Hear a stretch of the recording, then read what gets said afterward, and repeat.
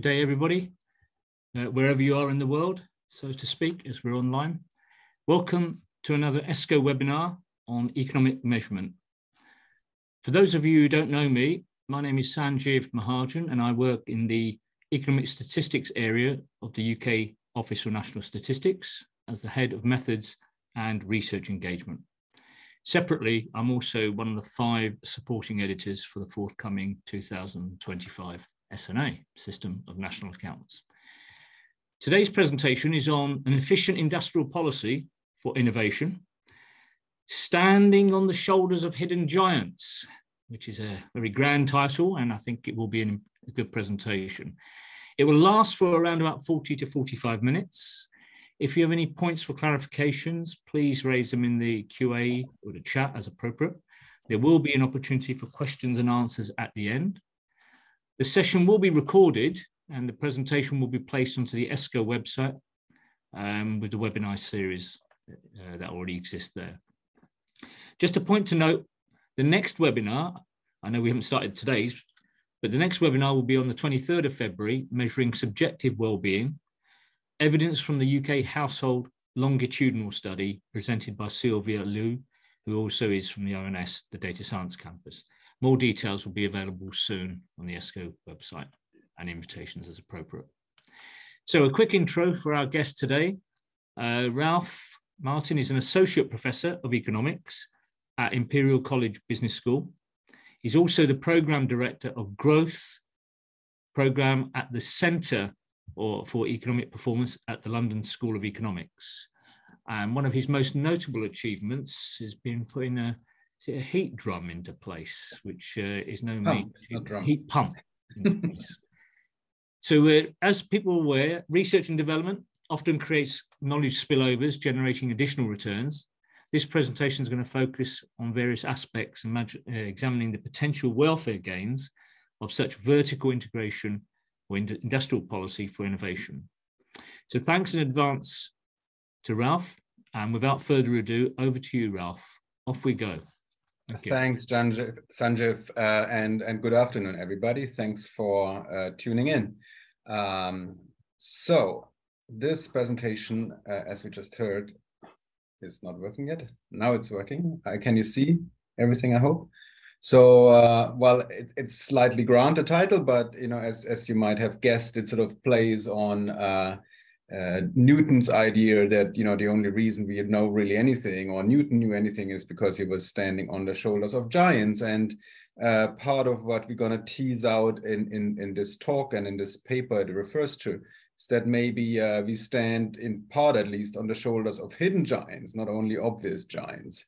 Um, it's uh, it's uh, it's been a, a, long project this or in a wider piece of work with with a number of co-authors uh, which you see here. We also had at some point a support uh, from the European Commission for that.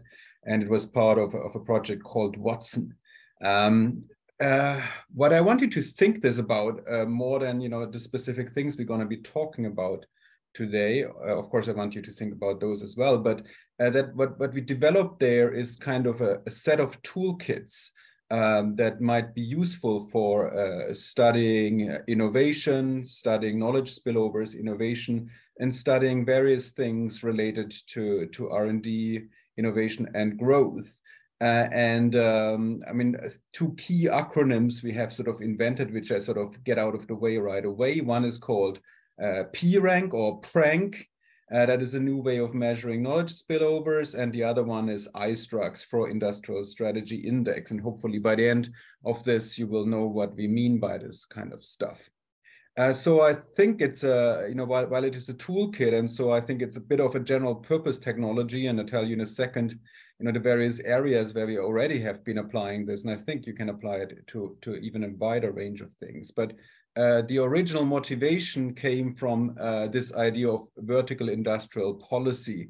I mean, in fact, uh, to be very precise, I first had this idea when, when sitting in a, in a talk by Mariana Mazzucato, who, of course, has been advocating very much uh, a mission-oriented uh, approach to you know government support for innovation and in industrial policy.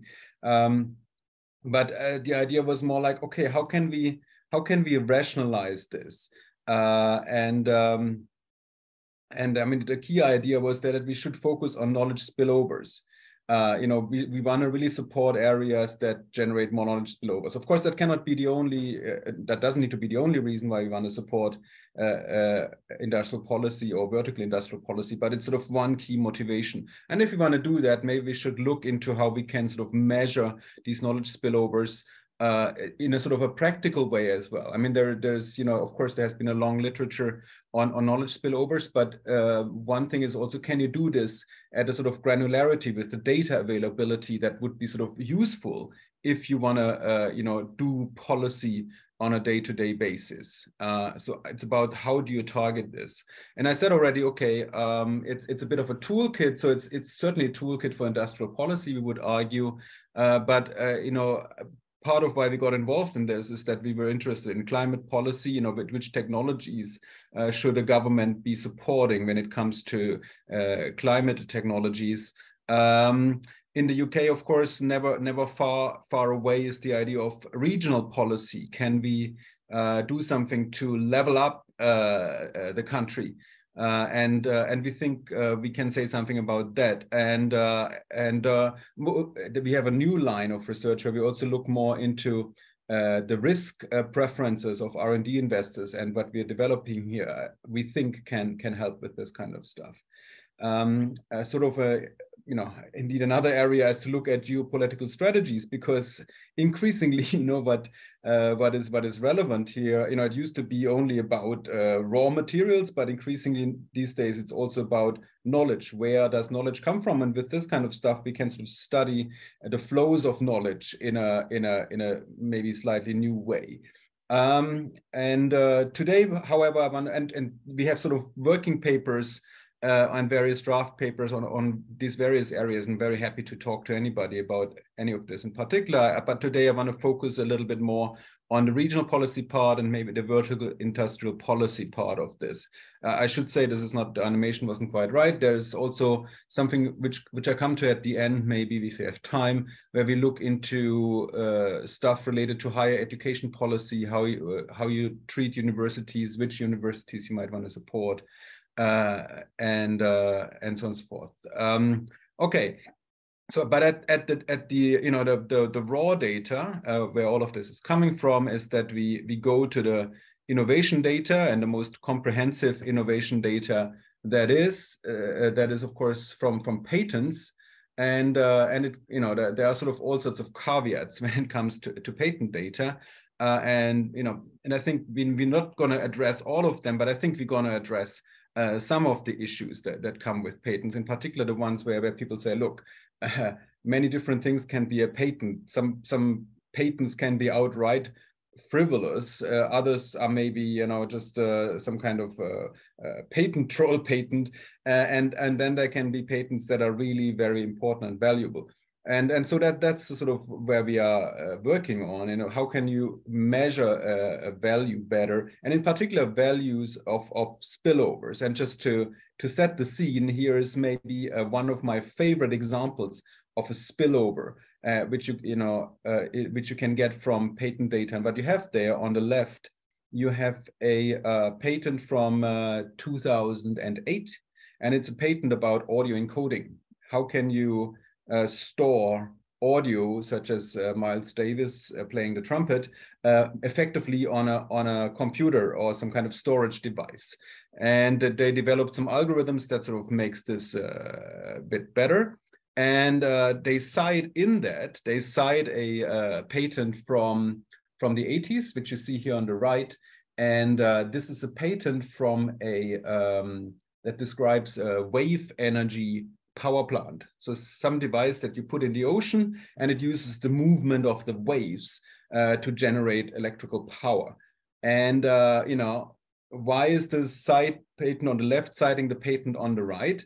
Well, uh, some of the ideas they developed there relied uh, in, in this audio encoding patent relied on ideas they developed with these wave energy patents. And you might say, what is the relation? Well, it turns out the wave energy guys, they needed some mathematics to, to handle the ocean waves, describe the ocean waves. And, uh, um, and th that mathematics that was described in that patent actually helped also with the audio waves uh, many, many years later. And this would be sort of an example of a direct uh, you know, spillover that one patent has uh, on the other, one innovation on the other. And that's what we're kind of working with. But, and of course, other people have looked at this, have used citations, um, of, of patents as a measure of quality and spillover, but we, we're taking this idea, uh, I would argue, a whole lot further.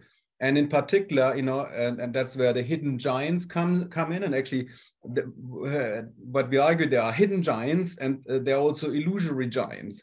And what you see here is a simple example of that. You have two innovations uh, a and b and maybe you know at, at, if you look at them at first if you just look at citations they might look very much the same a both a and b they are cited just by one other innovation like like many of our papers are only cited once or never. Uh, but uh, you know, here, you know, it's it's just an example. So in this case, uh, you might say old school. Okay, they are kind of both of equal quality uh, in, if you compare them.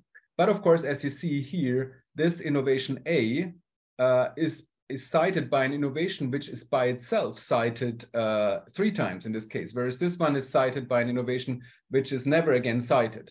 So uh, what this sort of illustrates is that really, you know, if you want to use citations, you have to look at these indirect linkages as well. And from that, you might conclude that actually A is, is the better one, yeah, uh, because it has it creates more spillovers. But of course, that could also be misleading because uh, you know from an economic point of, of, view at least you know what matters is the economic value of this. And and maybe you know this sort of indirectly or directly citing four other innovations. None of them are particularly val valuable. Yeah so only say hundred thousand uh, dollars whereas this one yeah it has only one citation but this is the hundred million dollar uh, citation there. So pv stands for private value here. So these are sort of you know things you want to take into account when you uh, assess uh, patents and innovations in that way. And um, that idea sort of got us to uh, this formula here, which is basically the formula of what we call uh, prank uh, or patent rank. And so what is patent rank? Well, it, it's a measure of uh, what you might in an economic terms argue is the social value of, of an innovation. What is the social value of an innovation? Well, it's the, the private value to the inventor, uh, so that that's the value to the inventor of this innovation I, plus some kind of uh, uh, a sum overall uh, the well of all the the the pranks of all the uh, social values of the innovation that that cite you. So these are all the innovations that cite I in directly in this case and uh, uh, and but we, we're not taking you know we're not just counting one we're counting here how many how what it, what the the social value of those innovations j is. Um, and uh, and of course if we then want to calculate the value of i uh, we first need to calculate the value of j. But you know uh, but you know we then have for j exactly the same formula. So what you have there is basically a, a system of equations.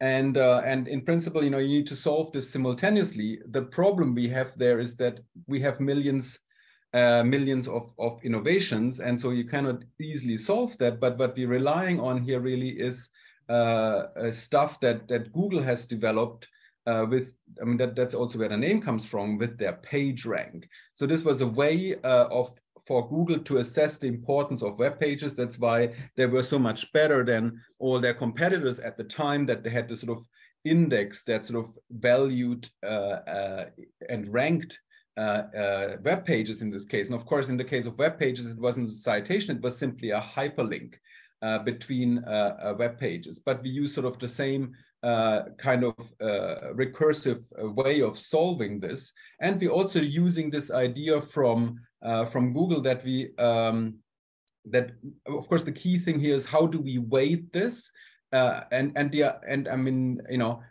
the general idea is that what you know what, what should this be? Well there should be some kind of number between zero and one you know uh, the the it's kind of the fraction of your the fraction of contribute the what is the contribution of innovation i to innovation j? It must be a fraction of the value that that j generates.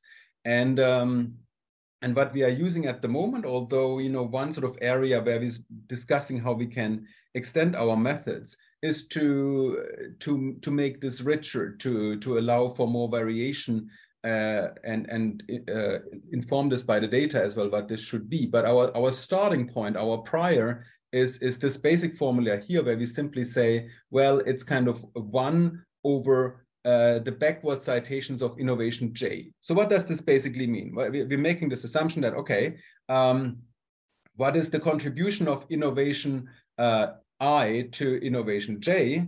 Well, if innovation J cites a lot of stuff, then every the, the relative contribution of every uh, inno innovation that it cites is, is a lot smaller than if it only cites uh, you know one or two other patents or papers. Um, so that, that is that is sort of what, what what what is implicit in there and of course that is kind of a strong assumption but you know as i would argue and i come back to that in a second it's it's a lot better than what we have been doing uh, so far and uh, and so this is kind of our first uh, sort of contribution that we use this formula here. And basically it's a modification of PageRank. But the key difference in terms of PageRank is that we bring in here this private value of an innovation. And uh, you see the monkey here. Why is the monkey there? Basically, what the private value does here by having this one in, we're moving from a from uh, uh, an interpretation that the, the page rank has. The interpretation of the page rank is basically it reflects the probability distribution of across web pages that uh, a, a, random surfer like my monkey here is sort of meeting uh, or hitting up on this web page by simply randomly clicking on an open browser on hyperlinks. That's what the interpretation of PageRank is. And uh, you know, this didn't make much sense to us in the context of uh, of patents. But once you introduce the private value here of a of an uh, of an innovation, the, actually the interpretation becomes, you know, uh, this sort of social value of an innovation as the sum of um, of the private value and a fraction of the uh, the social values of all the innovations that you cite either directly, but then also because this is again the prank, it's either you cite uh, something directly or indirectly.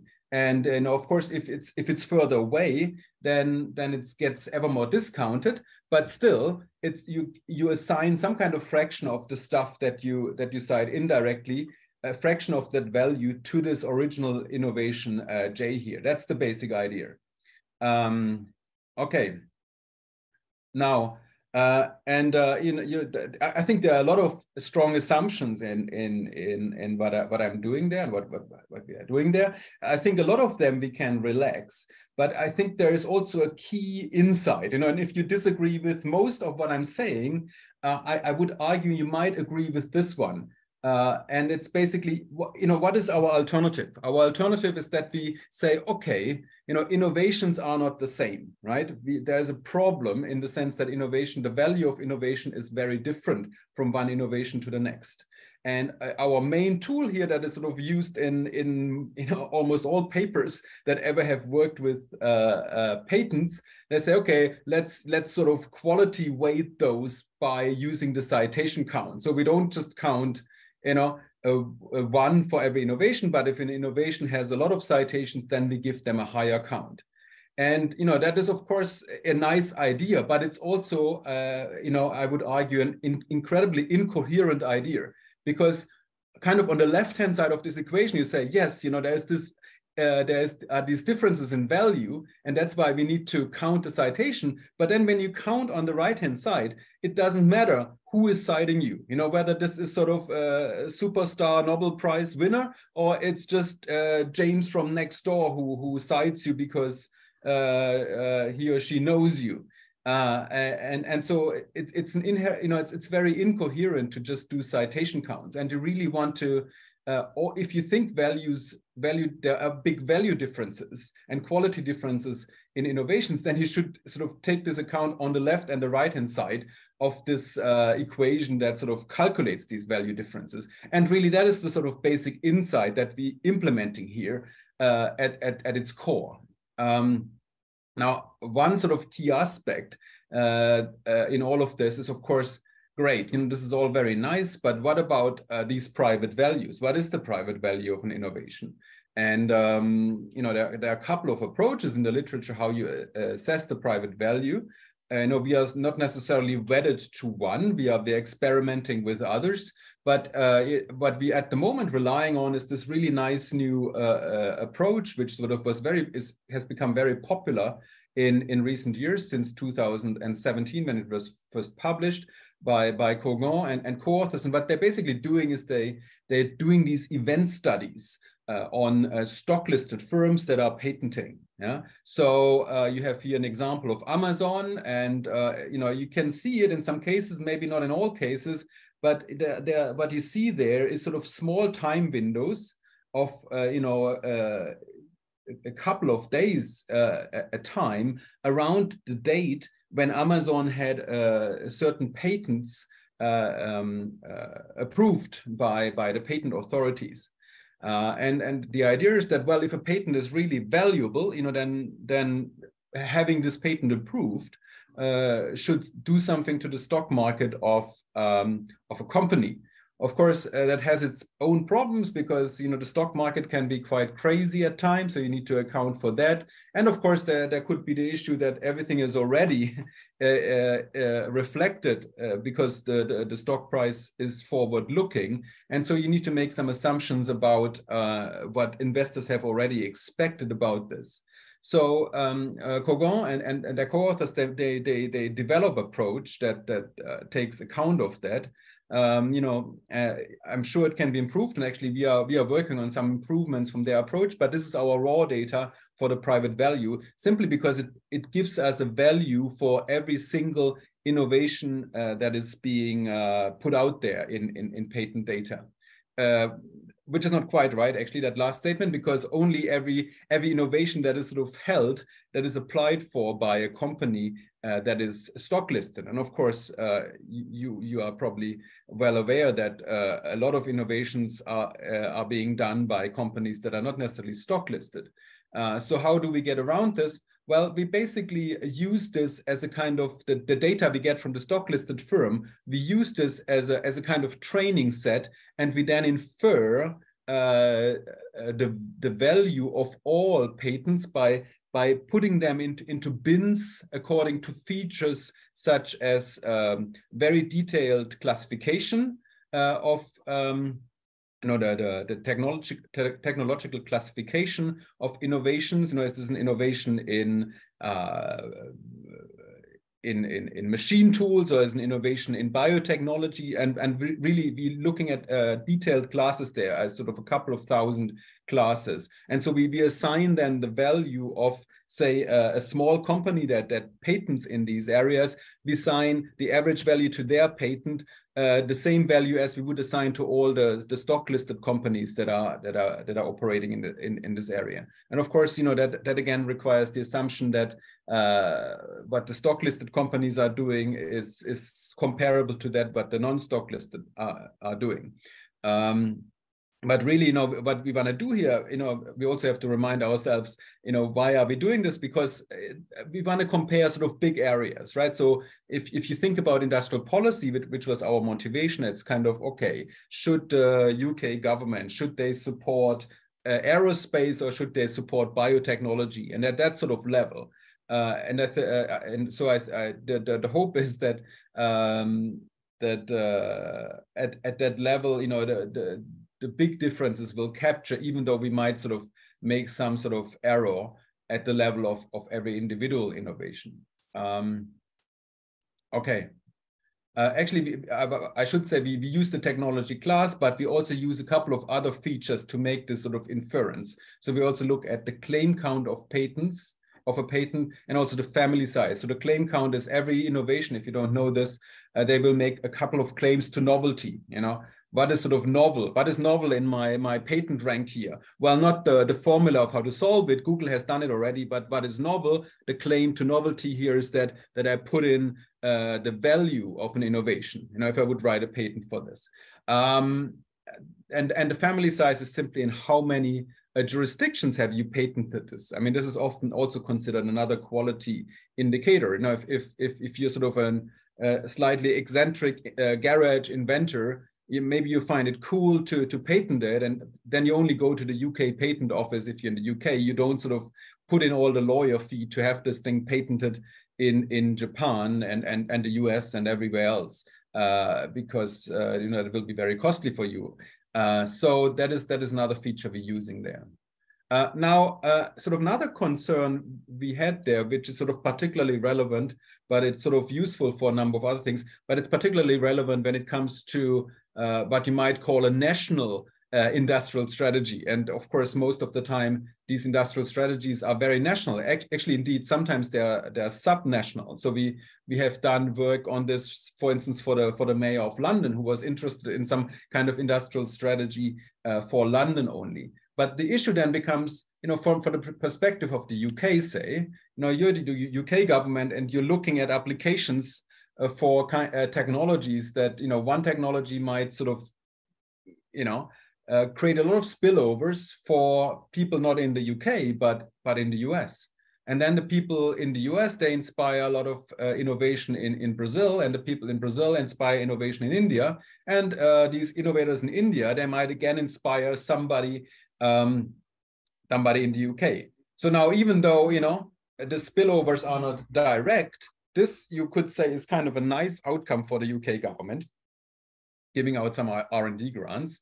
Uh, whereas you know something like that, where uh, an innovator in the UK inspires somebody in Russia, who then inspires somebody in Australia, and that's it. There are no no further spillovers. That might be less of a nice outcome for the for the UK government.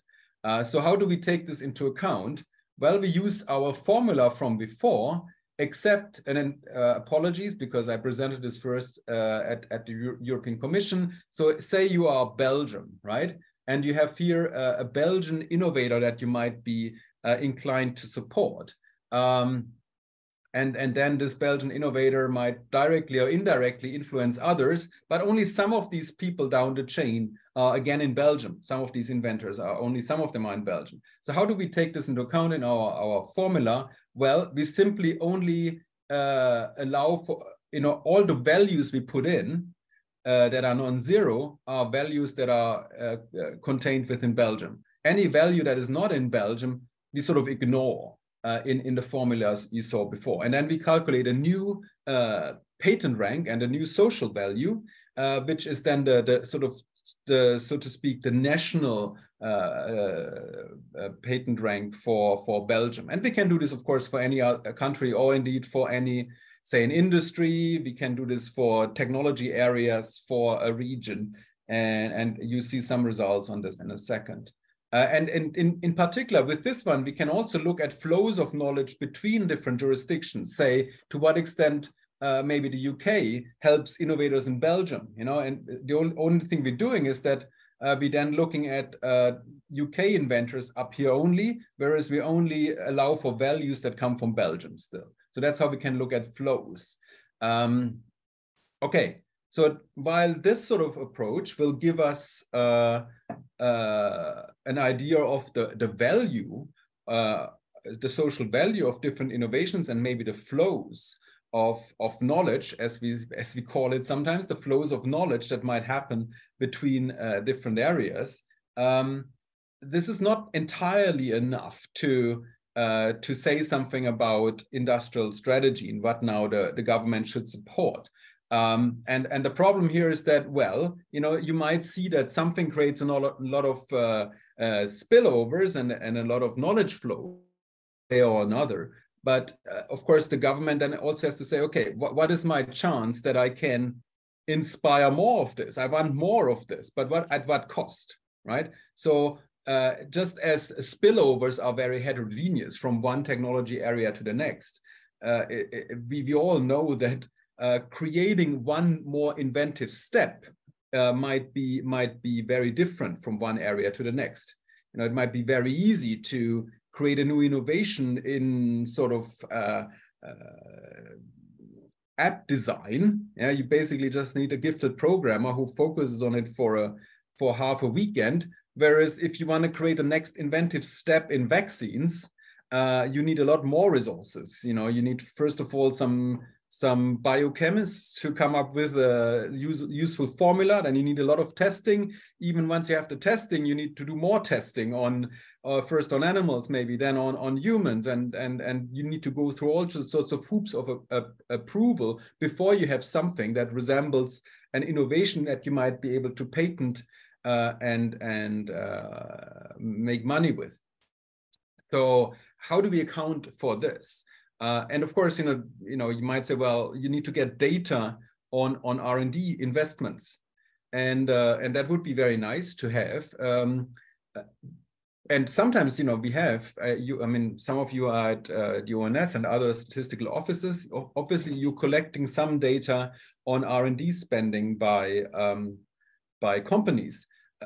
But of course, compared to what we have at the level of innovation outcomes, uh, data is much harder to get and much less comprehensive than what we have at the outcome level. So what we what we started thinking about is sort of a way of uh, you know of of helping us there and and and uh, plugging that that that gap. And so the idea here is that rather than relying on on um, some external data, we might be able to infer at some of this, at least sort of the big sort of uh, differences that it might exist between different areas from the from the patent data that we're already using there and uh, and the value data that I've showed you already. And what we're doing there is that we're developing a, a simple model of the R&D um, uh, creation process uh, or the innovation uh, creation process, I, I, should say.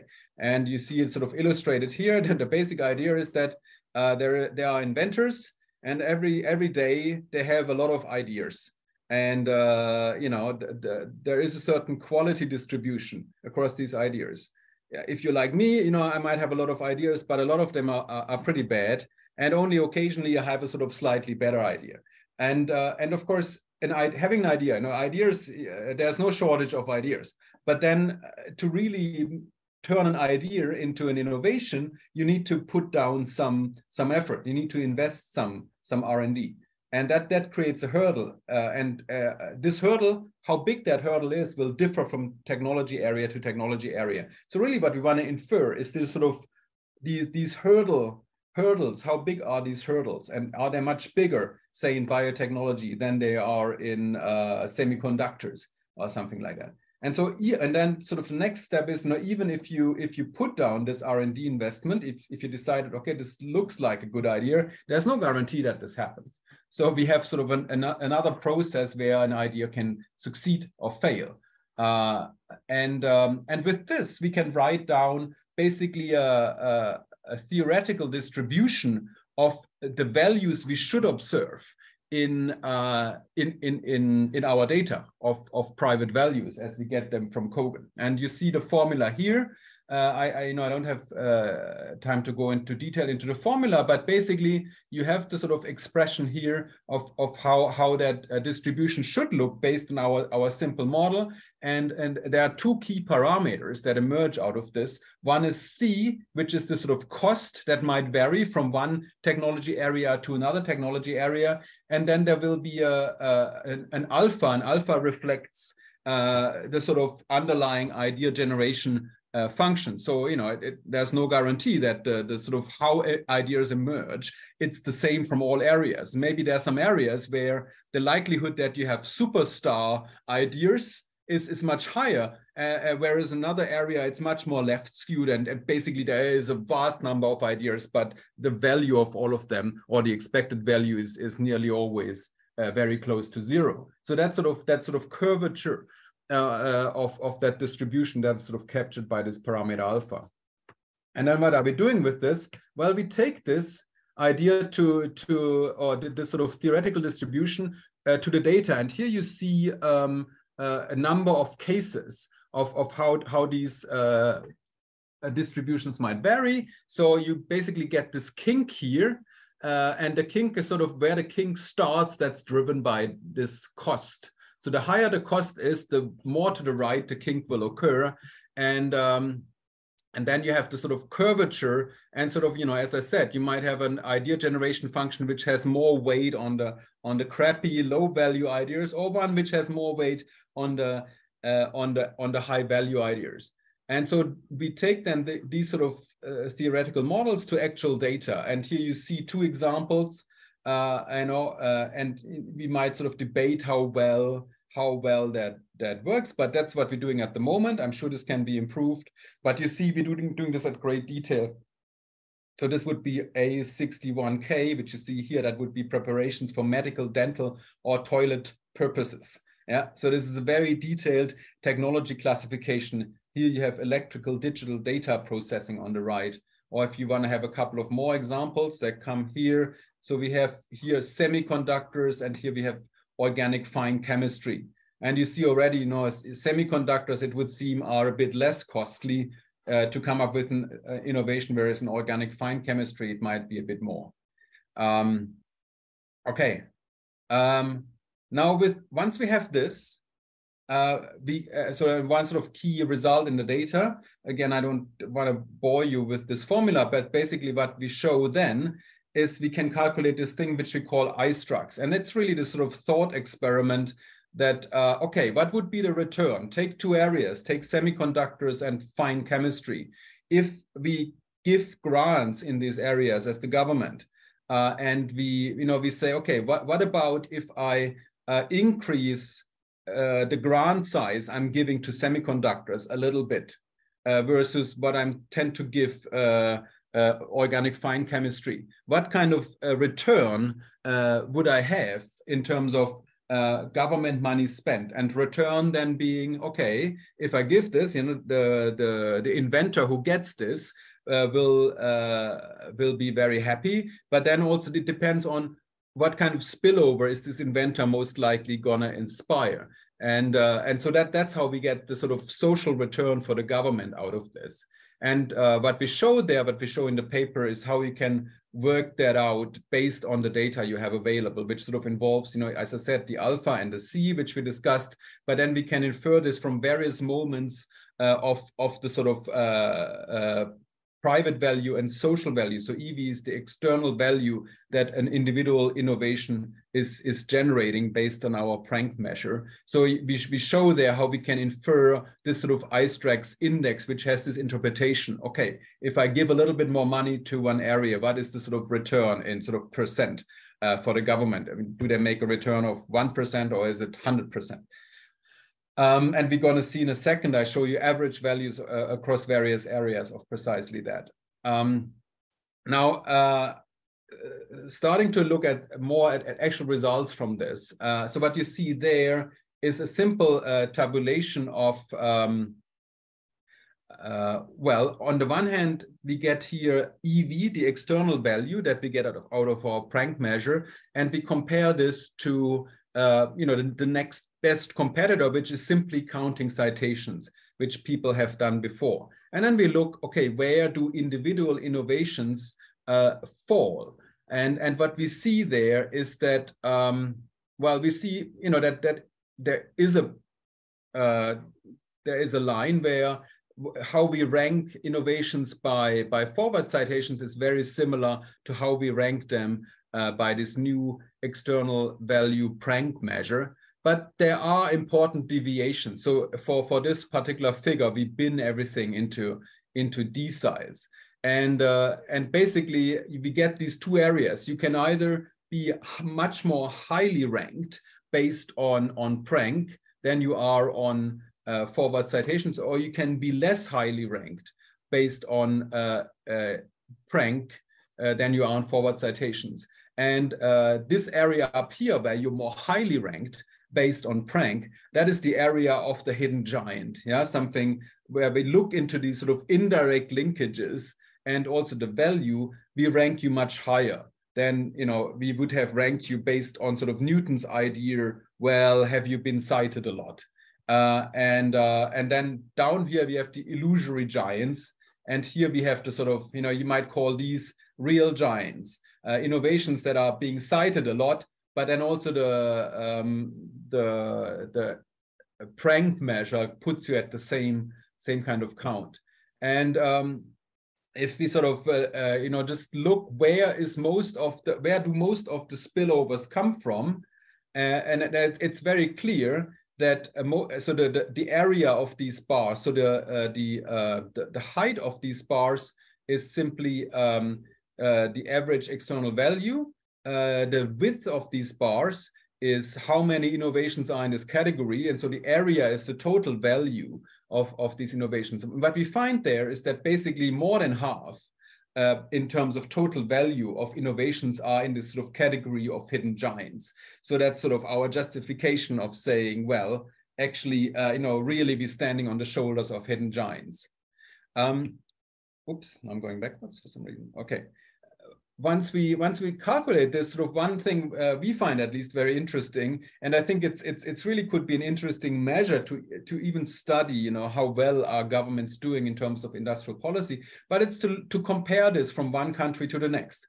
And of course it's very clear that a you know a bigger country will have more of this but what we're looking at here is sort of the per capita uh, external value that is being generated by different countries. And you see it varies a lot. You know it goes here from uh, Uh, uh, uh, 40,000 per per person in the country in Korea to you know Portugal is not so great or um, I mean the, the UK doesn't um, looks a lot worse than than say Korea. Um, so that that is sort of one aspect the other aspect is then this sort of national versus versus global thing. So what you see here is the, the, the, global figures, but then the blue part is how much of that is internalized within the country. And and uh, and on here the what this uh, black line shows you, it shows you what fraction. So you have to see here on the right hand side we have the share that is internalized, and here we have the the, the average value in terms of millions and and what of dollars. And what you see there is well so in most countries you know except maybe for korea really uh, more than half of the external value that is generated by innovators within the country tends to go uh, abroad. And it's not entirely surprising but you know it, it's nice to see this. And it's also uh, nice to see how that varies. Yeah. So in i mean as i said in korea it's it's actually more than half is some, somehow internalized uh, you know it's still quite a lot in, in a country like Japan. It's also quite a lot in the US, even though it's less than half, but then it's a lot less in, in, a, in a country like Britain.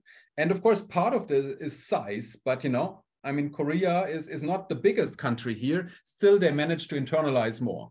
So, I, I, mean, at this point, we don't have a strong value judgment, but I think this is just an interesting stylized fact to, to keep in mind. And also, I mean, uh, this is now just a snapshot, uh, of, uh, of the most recent period we had available for the study. But of course, it, it could be very interesting to study these kind of things over time, uh, you know, as, as governments uh, are, are, trying to do something, I mean, uh, you know, in, in terms of industrial policy. Okay, uh, but sort of the key motivation here was to look at uh, at different areas. So you can play the same game we played with countries. You can play them played across different technology areas. And this is now for the, the, the world as a whole, all the all the patents we had uh, in our data, which I, I, should have said is actually from, from PatStat, which many of you will be familiar with. So PatStat is the most comprehensive uh, assembly of, of innovation data for most patent offices from around the world. And uh, if we use that, you know, we find, I mean, the first sort of question you might be asking from an industrial strategy point of view, okay, what is is does it make sense to vertically differentiate? Is there one technology area that is very different from another? And uh, first the first figure you see here is the the patent rank so simply the external value. And the answer is uh, yes there are big differences. You have something like organic fine chemistry pharmaceuticals up here uh, where you have uh, the average value of an innovation uh, measured in this way the social value is 2.5 million where you have you know mechanical elements, it's it's only uh, half a million. Yeah, so so uh, uh, a big difference, and also you might say, well, yeah, this is the average. You see the error bars here. This is this is pretty uniform uh, across uh, different different innovations in these fields. But then, as I've been arguing, well, okay, you know, external value is one thing that doesn't really tell us uh, if the if it's sensible for the government to to try and and and uh, go by this and uh, maybe target their support for this. But here we use ISTRAX, this measure of the return uh, uh, uh, for for government spending for a particular area, and and you see that again you see, you have big differences here from one technology area to the next now what we have is not millions, but it's basically um, re return in percentages. So down here, uh, mechanical elements, you know, again, mechanical elements is not doing too well. Uh, th but they would get a, you know, we would sort of assign a return of say maybe 10% uh, for every every government dollar spent here. Whereas for something like wireless, optics, audiovisual technology, uh, it's uh, it's it's more than uh, uh, fifty percent, um, more than fifty percent return. And um, and but, but so in, the interesting point to note is there's a big difference between different technology areas, uh, and this sort of is a significant difference. And and also in terms of the ranking, uh, it's it's a very different ranking, right? So we have wireless up here, whereas here we had organic fine, fine chemistry. I'm, I'm very pleased, given that I'm interested in, in, in clean energy and, and these kind of things. Clean energy comes fairly high up here, as you know, not something which would be great to have from a from a, a, preventing climate change point of view, but simply if you're interested in uh, in say um, uh, improving growth uh, and and doing good uh, uh, vertical industrial policy, yeah, then then you might also consider supporting clean energy because it comes fairly high up. The one thing to note, this is now the world as a whole, average across the whole world. Once you break this down by different countries, the rankings change again by country very much. So, uh, you know, if you are particularly interested in one particular country, I can give you the figures for that. And in the paper, you will see a, a lot more figures. Uh, just to illustrate that, let me uh, let me now move to uh, these kind of figures. And actually, these kind of figures we have been uh, uh, working with last year and the year before with people at BEIS. So, the, for those of you who are not in the UK, that is sort of the UK Department for Business uh, and and energy, um, and they uh, they were interested in particular in different uh, clean technologies. So there there was a portfolio the the government wanted to support, uh, or there was a budget to support clean technology development. Uh, and uh, you know, of course, there are sort of certain criteria of what would be really cool to have in terms of maybe preventing climate change, but would be a good technology. What is a technology that needs more development? But the question here was, okay, what can we support uh, and uh, what would, would be good from uh, creating knowledge spillovers within the UK.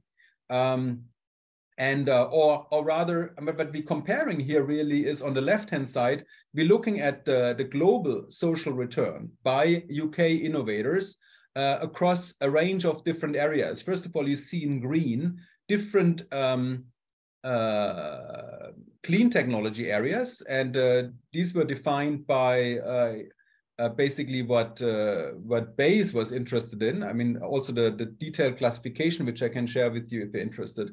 You know, but this is all by uh, very detailed uh, IPC uh, patent technology classes. And then we were also interested in comparing this to other. Sometimes we call them trending or you know sexy technologies that uh, that people are often talking about: wireless, artificial intelligence, biotechnology. Um, and, and again, the width of these bars is how many of those uh, are in the UK. Uh, and, and then the height of the bar is the average uh, social return. Uh, so here we see, you know, returns of over 100% for, for wireless. Uh, and then, uh, and, you know, certain technology classes, you know, clean technology classes have only 40% return. or only, I mean, 40% return is actually not bad if you can invest in something like that. Uh, um, and uh, but the others are a lot higher. So there's a big heterogeneity here. Yeah, solar would be a lot higher, offshore wind than say nuclear uh, uh or CCUS. Uh, and um, but of course, while this might be interesting, the global social return is not necessarily what the UK government is worrying about, especially as they as they Brexiting and become more insular. So they might be more uh, worried about the UK social return, and that's what you see on the right hand side. So the first thing to note, of course, is that uh, the potential return is a lot lower because you know you only count as something uh, to be valuable if if it helps some kind of UK inventor. So you know whereas here we go from uh, you know 80% return, over 100% return, we only go to 4%, 6%, 8%. But again, you have a big variation here.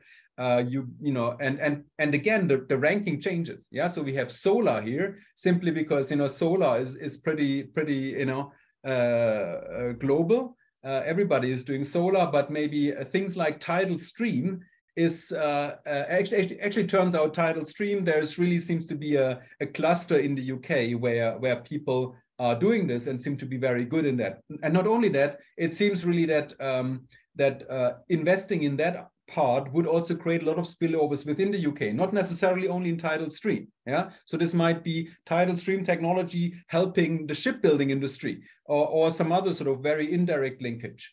Uh, and so the same is true for offshore wind. Actually, it turns out from a from a national point of view, forget about climate change, tidal stream and offshore wind would seem the, the, the highest return thing the UK government can do, higher than even than wireless or, or artificial intelligence. Because of course why is that? You know yes artificial intelligence everything but he thinks it's cool. But if the uk government invests in that chances are you know uh, some inventor in silicon valley uh, is going to benefit from that more so than than somebody else in the in the uk okay um, that's one thing. Um, uh, what about i was talking about regional policy. So we can now play this game uh, where we where we not only look you know for the UK as a whole and what is being internalized within the UK, but what is what are the flows around the UK uh, between different uh, parts uh, of the UK um, and um, and uh, what, what you see here is uh, what is sometimes called in the UK the golden tri triangle. And on the on the left, you see, okay, if it would uh, treat outside the golden, so uh, golden triangle is London, Oxford, and Cambridge, yeah. And so that's where you have a lot of wealth in the UK. That's where you have a lot of innovation in the UK, and it's much lower everywhere else. Uh, and what you see there is that, you know, if you um, if you only look uh, for the golden triangle on the left hand side, here you see what uh, what the different technology areas that you would want to support there. And, uh, and it turns out that, you know, in Oxford, London, Cambridge, we're doing a lot of the trending stuff. And so if we support, if the UK government wants to support something there, the trending stuff might help. However, what we see on the right-hand side is sort of the, the flows of knowledge you have to outside the Golden Triangle. So that would be an idea. What should the UK government support within the Golden Triangle that would really help people outside the Golden Triangle? And but you see there that it's mainly um, well, the top category here is actually clean innovation. That is the top category uh, that they could support. And what you see here as well is the sort of uh, average line of uh, the returns you would get if the UK government or anybody else for that matter would just support uh, people outside the golden triangle in the in the lagging regions. And an interesting result there is that supporting clean energy in Oxford and London and Cambridge will help uh, those lagging regions more, generate more returns in those lagging regions than supporting the average technology in the lagging regions. Uh, and, and, and the reason for that, we think, is that, well, you know, yes, you know, if you support somebody in a lagging region, it's great. You know, the, the person that gets the support uh, will be very happy. But because uh, the innovators in the lagging regions are maybe not total superstar inventors as the ones uh, you will find in Oxford and London and Cambridge. The, the, the spillover it generates for their own regions is much lower than if you support the right technologies in the leading regions. Uh, so, you know, yes. Just to I've say, we've got a couple of minutes because okay, we, we want to leave a few minutes. So let's let's let's jump let's jump to a bit of a conclusion or let's let's highlight some things and then we can have a discussion about this. So part of the reason why the clean technologies are very good you see here is that uh, whereas sort of oxford and london and cambridge have a lot of the total innovation and a lot of say you know uh, innovation like biotechnology clean innovation seems to be much more evenly spread around the uk um, uh, so since I don't have much time, let me not get too much into that. But sort of one sort of key aspect uh, that we're thinking about at the moment is, well, all of this, as you have seen, we have we have seen that a lot of the spillovers flow outside your own country, and we saw we saw that there are these big differences in uh, in the returns you're getting from uh, different areas. So there are two implications from that. There is a benefit from targeting, and here we're trying to work out, you know, what are the likely benefits. And we find that targeting versus non-targeting, it you know it depends a bit on the country, but you you get benefits of that are 80% higher or even 100% higher or more than 100% higher than if you wouldn't target.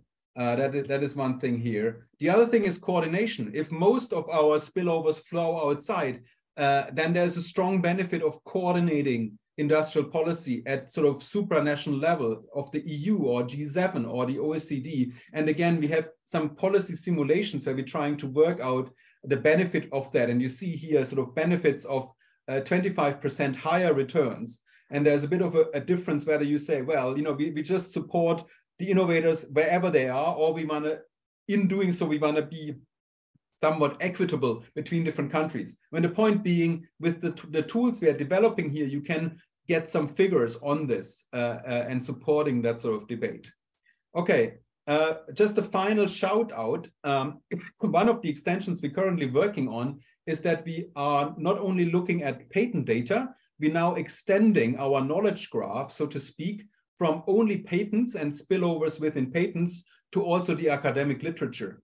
And the idea is then that we can sort of assess how sort of academic literature directly or indirectly eventually feeds into patents that are being, uh, uh, you know, uh, uh applied for and granted by, by, by private companies. And then this, you know, there are a lot of things you can do with this. One sort of funny thing is to look at ranking different universities in terms of, of how well they're doing. I'm pleased to say that, uh, you know, the Imperial College is at least in the top uh, 10 or something like that. But of course, there are institutions that are doing a lot better along these measures, which of course is not to suggest that the only thing the university is doing is creating, uh, uh, you know, stuff that some company can later patent and sell. But of course, it's it's at least one metric that we might want to consider. And it's I think it's also potentially, I mean, as you might know, uh, there has been a big literature looking into universities and what is their contribution. A lot of this is very localized. You know, is, is Cambridge creating jobs near Cambridge?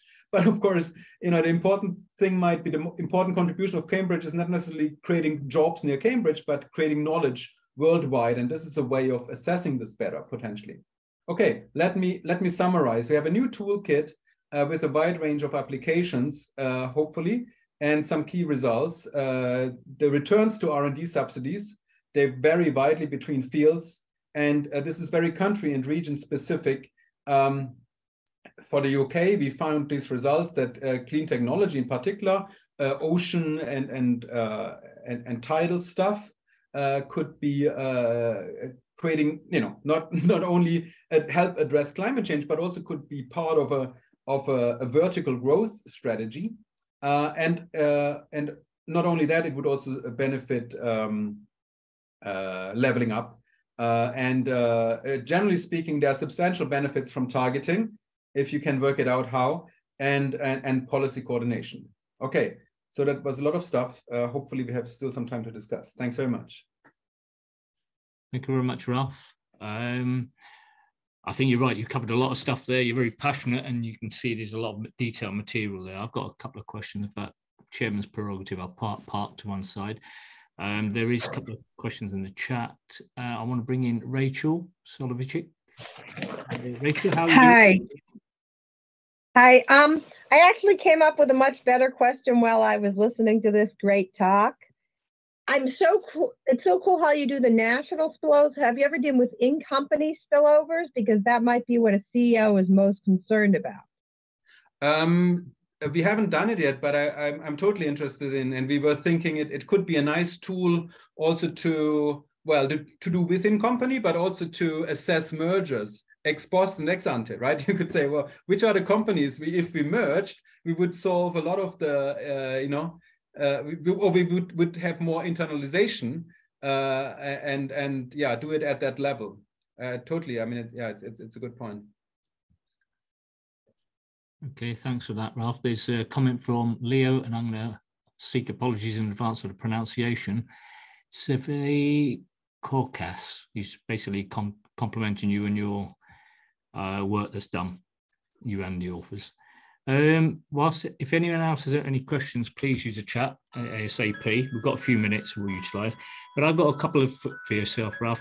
Um, obviously, I mean, I love it when mathematics comes into it because mathematics has uh, been at the core of many inventions uh, throughout history. However, um, coming to the link between market capitalization and the investment in the R&D and the spillover, have you considered the link to GVA or more importantly, the sales, the capital income streams that are generated is one aspect. Um, I agree with Rachel about the, it within business and outside the business, whether it's national or global. There's a lot of opportunities there. And then in your social value, which is obviously really subjective and really difficult to measure, it's a big challenge. Um, have you considered areas where the invention is valued at something, but all the citations are valued a lot more than the original invention? And how do you deal with that? a few so, so I, I didn't fully understand the last thing you mean the the, the um...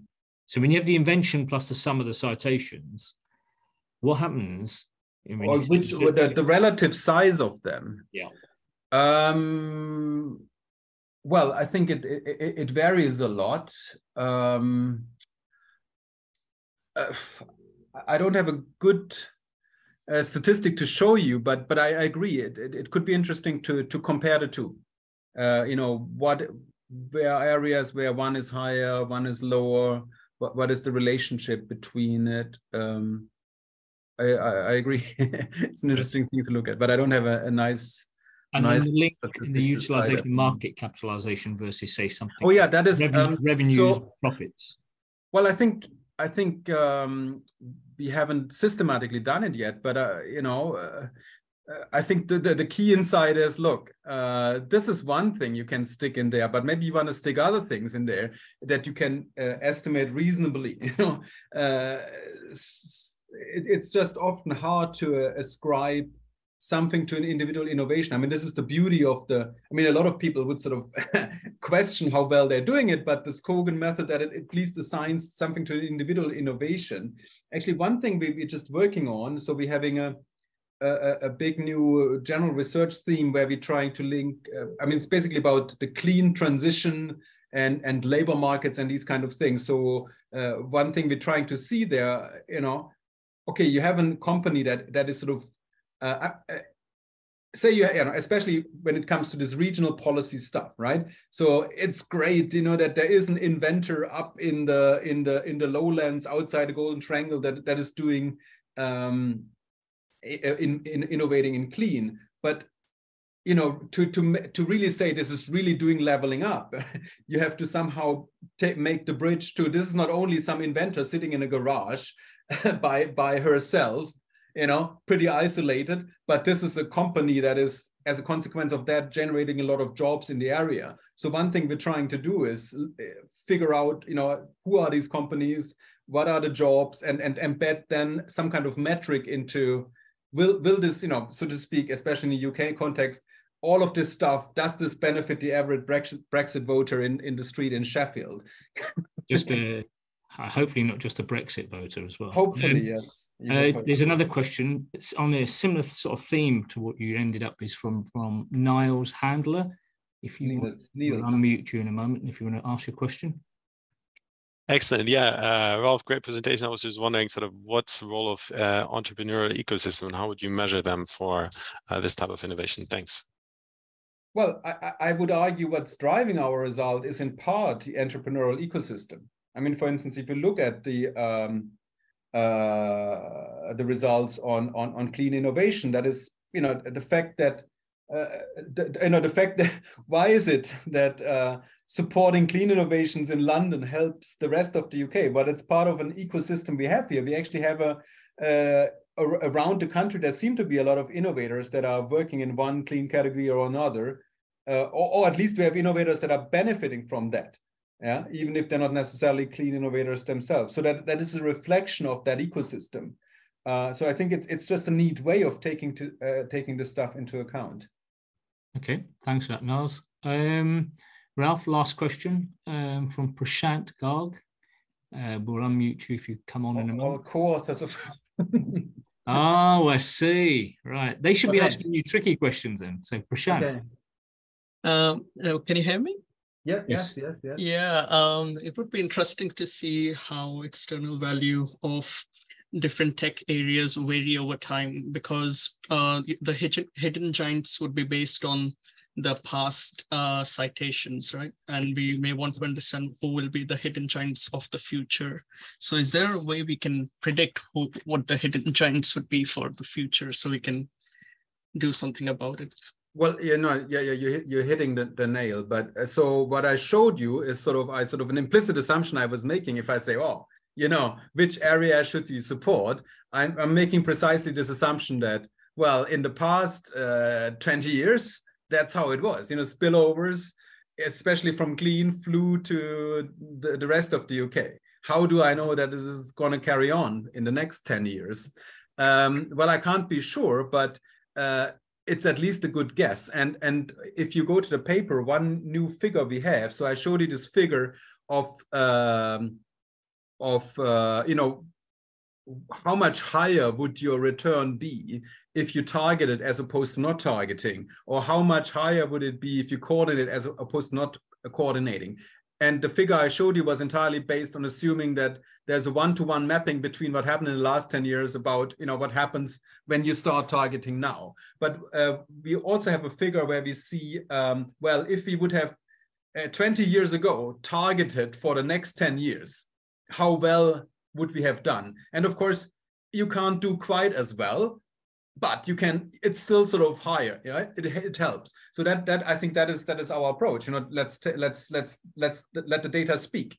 You know, and and this might vary from area to area. We have a this these kind of indicators uh, might be more or less predictive of of the structure in the future. Uh, but you know, we have a long enough time series to at least have a sort of an informed uh, discussion about that. Okay, thank you very much, Ralf. Um, we could draw a line here. So thank you, Ralf, and your colleagues for the paper and presentation. Um, and the next presentation of the webinar series will be on the 23rd of this month, just to mention that again, uh, whilst colleagues are on. Okay, so thank you very much. Have a good rest of the day and au revoir. Thank you. Au revoir. Ciao, ciao.